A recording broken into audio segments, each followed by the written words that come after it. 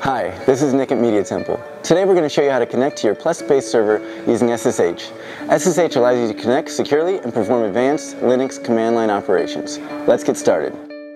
To connect via SSH to a DV server running Plesk, we first need to obtain some information from the Plesk panel. Start by clicking on the domain and then click on Web Hosting Access. Make note of the IP address of the server the system username, and enter or generate a new system user password if you do not have that already. And make sure that access is set to bin slash bash, and then click OK. Next, we'll need our SSH client.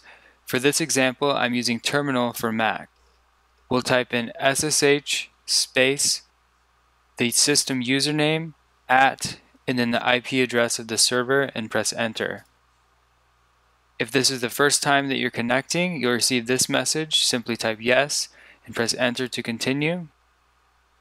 And then we'll enter our password, press enter again, and we're now connected to the server via SSH.